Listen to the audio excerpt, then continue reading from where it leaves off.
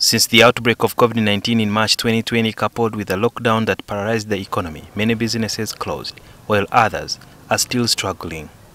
However, the landlords have been increasing their rent. Perhaps some have loans that have accumulated high interest from lenders like banks.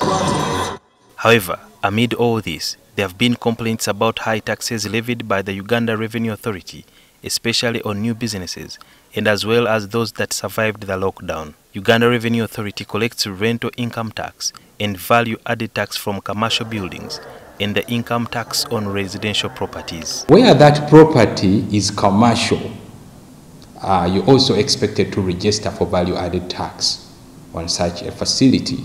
Uh, value-added tax uh, because it is commercial and where the earnings from such a property go above 150 million in a year.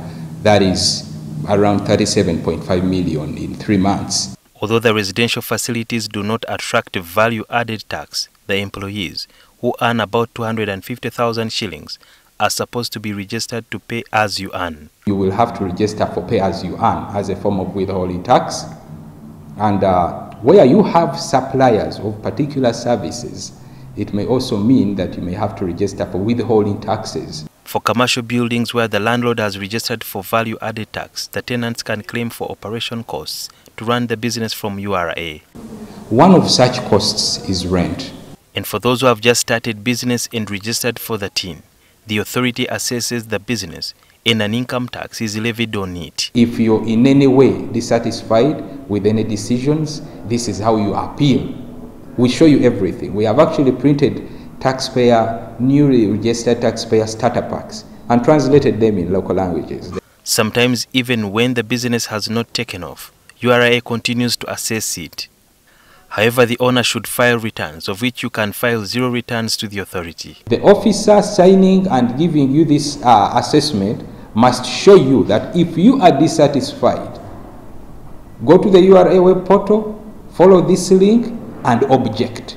Some of the businesses never take off, but URA continues to tax those businesses that have even closed. So, why is it that the team does not go and check to see whether this business that registered actually still exists and is operating? If you have valid reasons, like you've said, you've said a business did not take off, you object to the assessment that was sent to you by filing an objection where you indicate that you're asking me to pay 50 million, but I did not make any business and I would like my 50 million position to be reversed to zero. The authority will charge income tax basing on the rates of the most successful similar businesses in the same area for those who fail to file returns.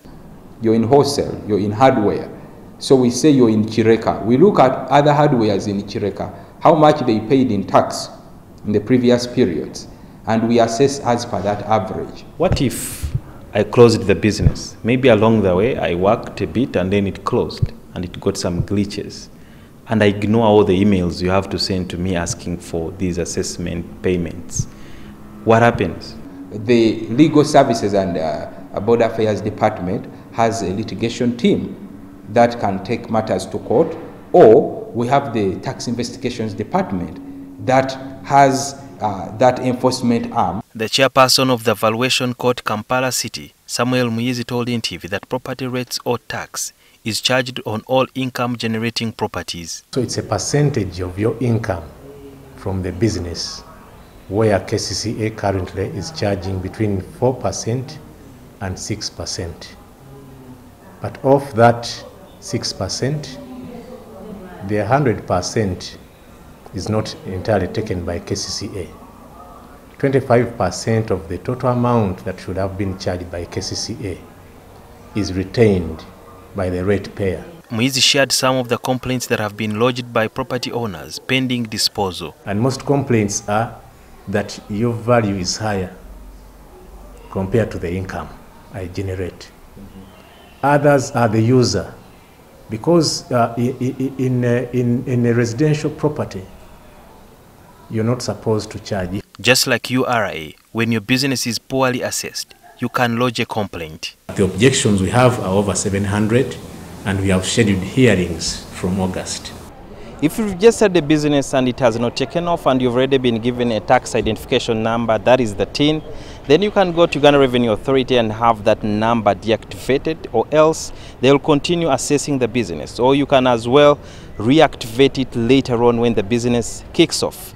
And if you've also had a business and along the way it got some hurdles and you closed it, and then you can also go to the same authority and file for objection, especially when they continue assessing it. And failure to do anything about this, then it will come with consequences. Sudil Yarhanga, NTV, Nakawa.